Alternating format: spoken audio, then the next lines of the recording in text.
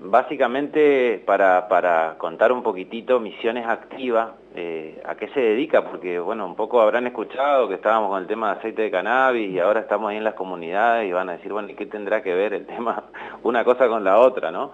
Eh, un poco la idea de la asociación en este equipo interdisciplinario de, profesionales que hemos formado, que, hemos conformado en este caso, eh, trabajamos con eh, la idea de fomentar y promover la investigación, por un lado, eso está en nuestro estatuto, o sea, es uno de los objetivos que tenemos como asociación, en la investigación, por eso está el tema del proyecto de cannabis medicinal, pero también dentro de nuestro estatuto, dentro de nuestro estatuto tenemos eh, el objetivo de implementar proyectos sociales.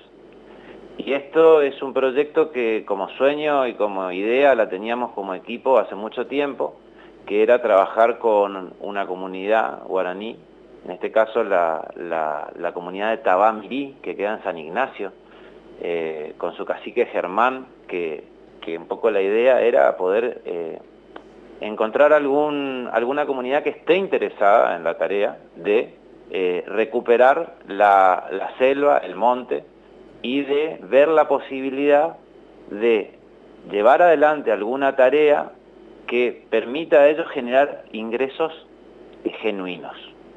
Ingresos genuinos hablando desde el punto de vista de la conservación ambiental. Eh, nosotros como asociación estamos inscritos en el INASE, que es el Instituto Nacional de la Semilla, eh, justamente por esta tarea que hacemos de fitomejoramiento de cannabis medicinal. Pero el INASE es, es algo mucho más amplio que solamente eso, sino que te da la posibilidad de registrar árboles semilleros, uno inscripto en el INASE, ¿no es cierto?, puede registrar árboles semilleros, esos árboles semilleros se georreferencian, o sea, se, le da una coordenada GPS y se identifica cuál es. Esta gente del INASE va a ir justamente el sábado 8 con nosotros, el equipo del INASE, Jorge y Marcelo, que son, eh, es una institución nacional, pero ellos viven acá en Misiones, y, van a ir a georreferenciar estos árboles semilleros para que en conjunto con la comunidad nosotros podamos enseñarles a ellos, ellos puedan enseñarnos a nosotros también, por supuesto, eh, técnicas de recolección de semillas.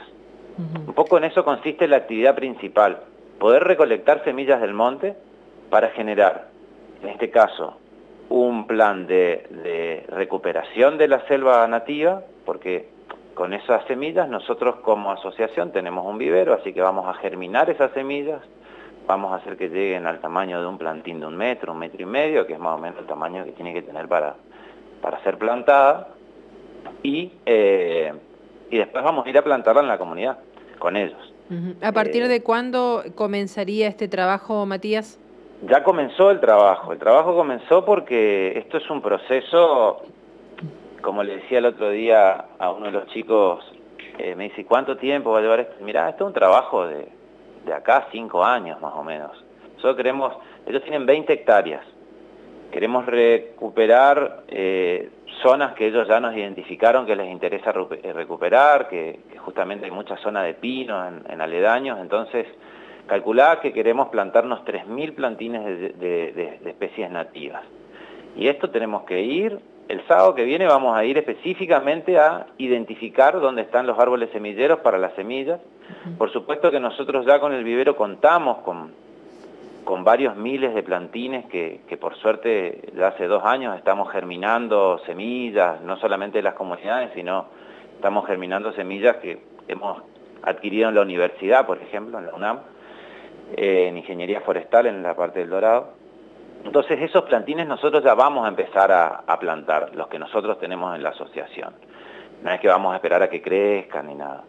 Pero esto es un proceso, como te digo. Ahora el sábado 8 específicamente vamos a, eh, gracias a la gente del IFAI, vamos a ir acompañados por la ingeniera eh, Silvana eh, Sandoval y vamos a trabajar con ellos en el, primer, en el primer objetivo que es el armado de una huerta. Una huerta para poder brindar alimentos a las nueve familias que viven dentro de esa comunidad. ¿De, de, cuántas, eh, ¿De cuántos árboles semilleros estamos hablando aproximadamente en Y es el trabajo que vamos a ir a hacer, ¿viste? Yo hice una pequeña recorrida con, con el equipo, con el cacique, pero una pequeña recorrida de, no sé, estamos hablando de una hora, eh, no mucho.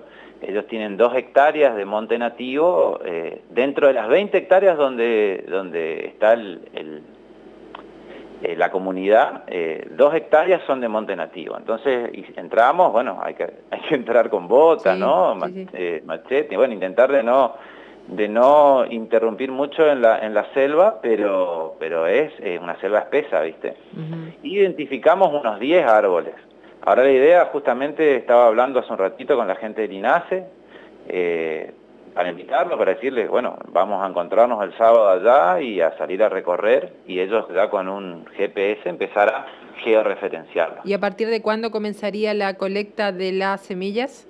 Y todos los árboles tienen diferentes épocas de, dar sus semillas, ¿no? Eh, eh, por ejemplo, según la época del año, ejemplo, ahora este, la cañafístola está llena de semillas, por ejemplo, pero hay anchico, hay timbó, eh, curupay, hay, hay varias especies que identificamos ahí que obviamente nosotros tenemos una ficha técnica de cada una de las especies que, vamos a ir identificando, vamos a armar un plan de recolección, eh, donde vos vas a tener, por ejemplo, yo voy a hablar con Germán y voy a decir, bueno Germán, en junio tenemos que recolectar tales árboles, mm. tales semillas. Entonces es una tarea muy interesante porque por un lado estamos hablando de que estamos generando, como te dije, creo que acá lo más importante es, estamos generando un ingreso, eh, un ingreso, un posible ingreso para ellos económico, eh, de una tarea de restauración, porque vamos a empezar ¿cómo se, daría, ¿Cómo se daría, Matías, ese ingreso económico para ellos? Y mira, si vos te pones a pensar, primero, el, principal ingreso de ellos eh, en los últimos tiempos siempre fueron las artesanías, ¿no? Y me comentaba Germán que en la comunidad, eh, en la comunidad eh, estaban preocupados, sobre todo de él, porque tiene que asegurar la, supervivencia de la comunidad de él, ¿no? Y estaban preocupados porque ya no tenían casi más árboles para, para seguir haciendo artesanías. Entonces, en, esa, en, esa, en ese pensamiento, ¿no? Está el hecho de buscar alternativas más ecológicas. Nosotros como ONG, como te dije, nosotros mm. tenemos la posibilidad de trabajar con las semillas, eh, los árboles semilleros. Entonces vamos a, ya firmamos un convenio con, con, Asuntos Guaraníes, que fue el que nos abrió las puertas y nos dio la posibilidad de ingresar a laburar con esta comunidad. Y tenemos todo el apoyo de, de, la, de la Dirección de Producción a través de Lucas Leone, que es el que está más interesado en que, en que, en que podamos generar ingresos dignos. Claro, pero ¿dónde, ¿dónde, venderían esto? por eso te digo, ¿dónde está el ingreso? Sí. El ingreso está en que nosotros, una vez que ellos empiecen a recolectar las semillas y que hagamos los plantines, vamos a poder ofrecer estos plantines, mm. no solamente para la reforestación de ellos, sino para otras comunidades, para, por ejemplo, otros trabajos que se estén haciendo de reforestación o de recupero de, de, zonas degradadas. nosotros como, como ONG tenemos pensado asesorarlos a ellos y trabajar junto a ellos para lograr meter las semillas en el mercado nacional. Eh, hablando con la gente del INASE, estamos hablando de que el mercado nacional de semillas nativas casi no existe. ¿Pero por qué no existe? Porque no existe la costumbre de ir a recolectar las semillas. No hay equipos de trabajo que estén trabajando específicamente en eso. Entonces, a veces cuando hay demanda, no hay oferta. Y a veces cuando hay oferta no hay ni demanda. Ejemplo, nosotros en la universidad el año pasado cuando compramos las semillas, hoy en día tenemos 25.000 plantines de nativas en la asociación. Pero les compramos todas las semillas. Entonces, si yo a los dos meses yo quería ir y comprar más semillas, a la universidad no tenían. Y no hay una, una oferta de semillas nativas a nivel nacional. Entonces, eso es un poco la idea que tenemos como asociación desde Misiones Activas, una idea que, que surgió hace más de un año, que no es que nace hoy de un repollo, sino que siempre pensamos en, en el hecho de cómo puede ser que nos estemos quedando sin árboles, digo a nivel global, ¿no? Nos estemos quedando sin árboles, siendo que cada árbol por año da más de 10.000 semillas.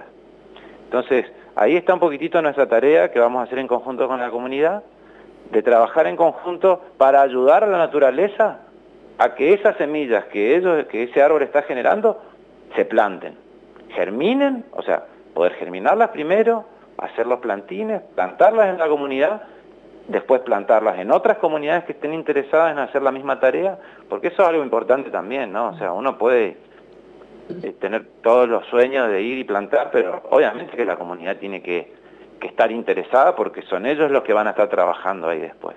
Bien. Ahora, por ejemplo, el sábado vamos a ir, un comentario nomás, vamos a ir con la gente de IFAI a trabajar en una huerta para las nueve familias. Y por supuesto que hay que elaborar la huerta, vamos a ir, vamos a agarrar pala, pico, armar, ver cuántos metros tiene que tener la, la huerta. una pala, Matías? Eh, por supuesto, pero siempre, siempre nos encanta, nos encanta trabajar con la tierra, lo más lindo que hay. Hago el chiste porque nos conocemos con Matías hace mucho tiempo. Bueno, Matías, eh, mucha, ¿alguna red social o algo quien quiera eh, más información de Misiones Activas? Sí, Misiones Activa, mira, por ahora tenemos Instagram que es Misiones Activa ASOC, eh, creo que todo el mundo tiene Instagram y si no está mi celular, eh, porque estamos, una cosa importante, Caro, que, que es el desafío, el desafío comunicacional y ya los invito a sumarse.